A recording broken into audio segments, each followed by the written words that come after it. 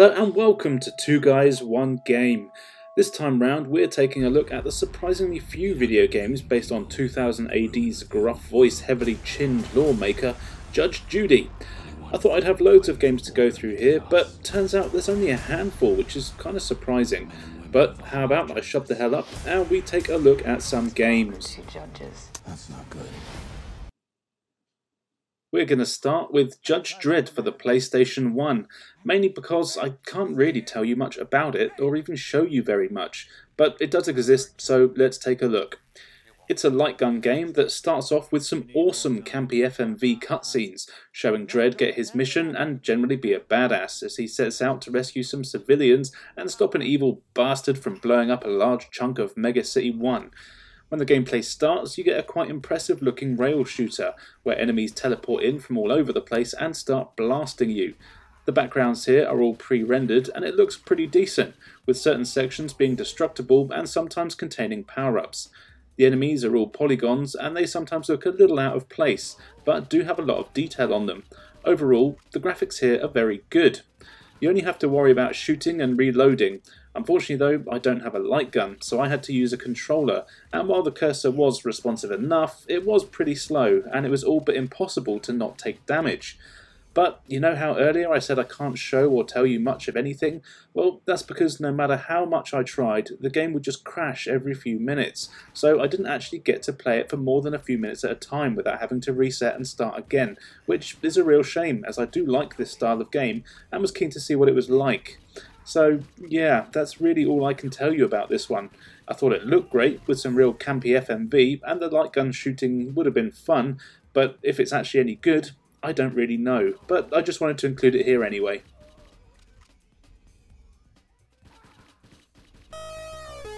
So now let's go back to the Commodore 64 for Dredd's first video game outing.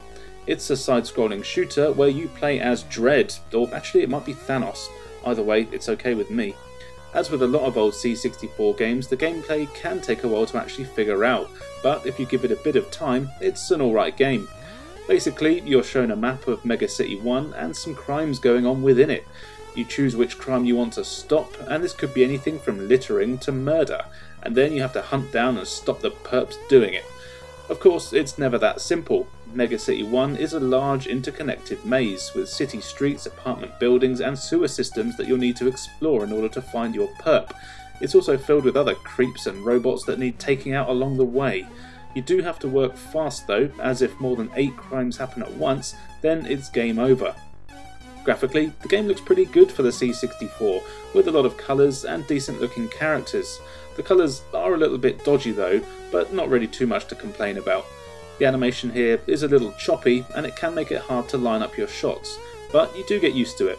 And speaking of shots, you have a few options here. You can either just yell at perps to halt, or you can fire a warning shot above their head, or you can go straight to the kill. You just have to press the button to switch between which one you want to do. You never really know which of these is the best option, sometimes just shouting at an enemy is enough to get them to surrender, but let's be honest, as far as I could tell, there's no penalty that I noticed just for killing everyone you see, so I just did that. Get rid of that criminal scum. And that really is all there is to the game. I was pleasantly surprised by how much I enjoyed it, as it was the first Judge Dredd game. I wouldn't say it's a particularly great game, it's average at best, and it's more confusing than it needs to be, but again, that's really just a product of its time.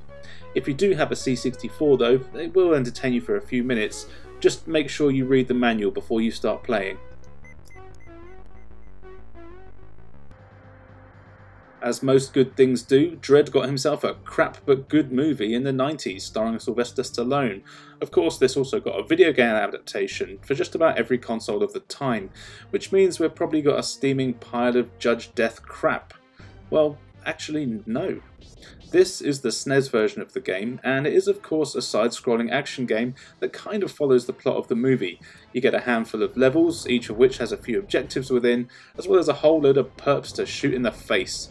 The game looks really good, with some dark, detailed graphics, and there's some nice weather effects on the levels too, and there's even some cool cutscenes. The animation here is also very good, with Dredd and enemies all moving smoothly. Thankfully, the controls match this, and controlling Dredd is easy. though it does take a while to get used to jumping and ducking, making it hard to avoid enemy attacks to begin with. As Dredd, you have a decent selection of weapons at your disposal. You've got your Lawgiver pistol that has infinite ammo, but you can find plenty of other weapons like homing rockets, grenades, and more. Each of these come in handy for different situations, but something that is very noticeable is that all enemies take way too many shots to put down. You do also have a melee attack, and this appears to do the most damage, but of course you have to get in close to the enemies, which will usually mean you taking damage. Sometimes though, no matter if you melee or shoot an enemy, they will surrender, and then you have the chance to either finish them off, or you can arrest them, which is a nice touch. You do have a generous life bar, but health power-ups are hard to come by, and they're often in hidden areas that are a bit of a pain to find. Your mission objectives can also be a pain, as they're often quite obscure, and although you are told what you need to do, you're rarely told how to do it, which made even the first mission drag on longer than needed to, well, for me at least, because I'm not that bright. Though, to be fair, once it was over, things did get a lot more simple. What is annoying though is that you do have to access computer terminals to see your mission status as well as check your ammo and health. This is kind of pointless, mainly because your ammo and health are at the top of the screen, but it would have been nice just to have a pause menu rather than a slow, clunky terminal. You don't ever actually need to look at this though, as you are updated on screen when you complete an objective, so I guess you can just ignore them. Judge Dredd is definitely not an easy game, but I would say it has a fair difficulty. Like a lot of games from this era, you do have to get used to the enemy patterns and level layouts, but once you do, you'll actually have a lot of fun with this. I would even go as far to say that it qualifies as a bit of a hidden gem. Now, how about we take a brief look at the other versions?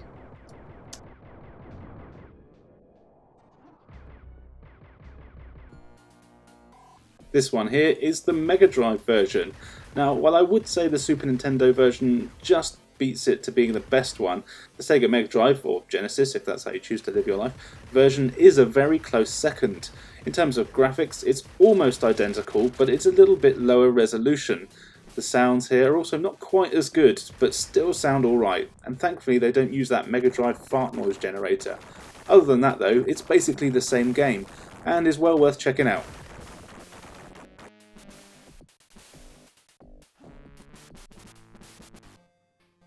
The Game Gear got a version of the game too. This is, of course, a cut down version of its 16 bit brothers, but it's largely the same.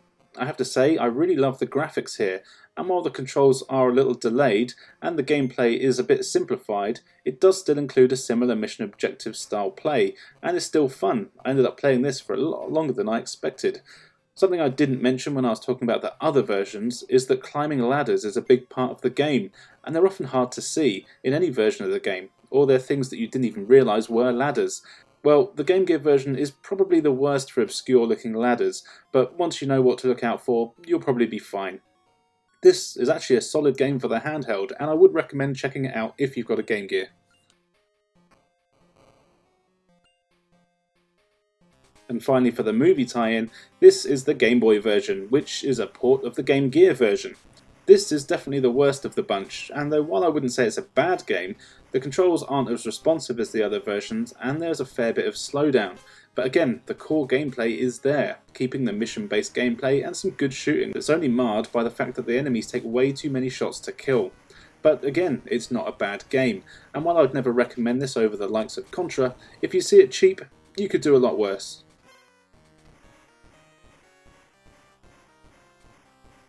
And finally for today, in what I think is Judge Dredd's most recent video game appearance, is Dredd vs. Death. This here is the GameCube version, but it was also released on just about everything at the time. Dredd vs. Death is a first-person shooter, and the story sees a death cult bring the evil Judge Death out of prison. So of course Dredd and the other judges lock and load and head out to stop Death from turning everyone into vampires and zombies, which, by the way, is one of the coolest stories in any video game ever. Anyway, the first thing I noticed is that the game looks great. The art style really matches the look of the comics, and the cyberpunk cities and all their inhabitants look fantastic. Everything can skirt the lines of sometimes being a bit drab though, with a lot of greys and browns in the colour palettes, but it does kind of match the aesthetic of the comics. Controlling Dredd is good, but definitely not perfect. The jumping is very clunky, but thankfully there aren't many places where you need to jump, also, aiming can be very tricky. Even with auto-aim turned on here, you need to be extremely accurate. and most enemies are very slim and fast moving, which makes accuracy very tough. Thankfully though, you do get a decent amount of ammo, so sometimes the spray and pray method works. You also have a melee attack, but I found that this was pretty useless and I hardly managed to hit anyone with it. In the end, I just stopped trying. Most enemies in the game are vampires and zombies that actually kill you pretty easily if they get too close, so it was best just to stay away from them anyway. When you're in gunfights, your enemies will often surrender, once they see that what a badass you are of course. Some levels require you to arrest perps rather than kill them, and this is done by holding the Z button and pressing the action button when you're close to them. What's cool is that the message comes up on the screen telling you who they are, what their crimes are, and how long they're going to be in jail for. This is a really cool touch, and the humour thrown in when it comes to these names of perps and their crimes is really good. You get a few weapons here, but the main star is your Lawgiver pistol, which has loads of firing modes. It's got your regular rapid fire, heat-seeking, explosive, ricochet, and flame shots. These all use the same ammo type, but some use more ammo per shot than others, this makes choosing your ammo in gunfights quite strategic, though to be fair, I did find that thanks to the tricky aiming, I mainly stuck to the rapid fire so I could just spray and pray like I said earlier. The levels themselves are all pretty large with multiple objectives, and they're your usual fare of killing, rescuing, destroying and activating. They do a good job of mixing things up though, and each level does feel different to the previous one. It is a bit of a shame that there weren't more types of enemies to keep things more fresh, Although, to be fair, they do introduce a few new ones in most levels, but it usually boils down to the same kind of thing and they just have a new weapon or something like that.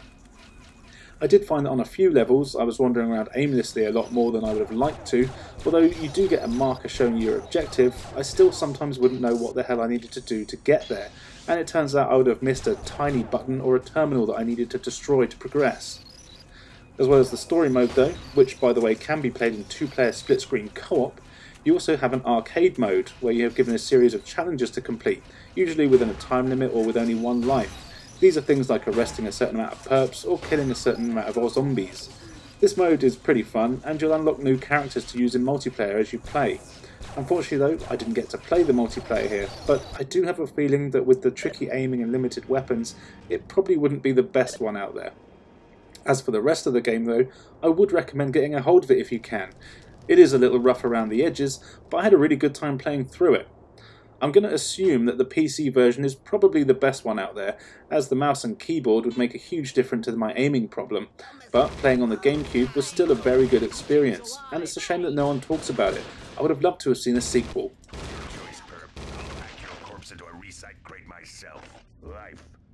So there you go, a brief look at every Judge Dredd game I could find. I've seen there was a cancelled arcade game which was going to be a Final Fight style brawler, but it was never finished, which is a shame. Which one is your favourite? Let us know in the comments below. Don't forget to subscribe, we upload new videos when we've made them, and you can follow me on Instagram where I've got hundreds of retro video game reviews. Just search The Reviews Brothers. Now, all that's left for me to say is thank you for watching, and we'll see you next time.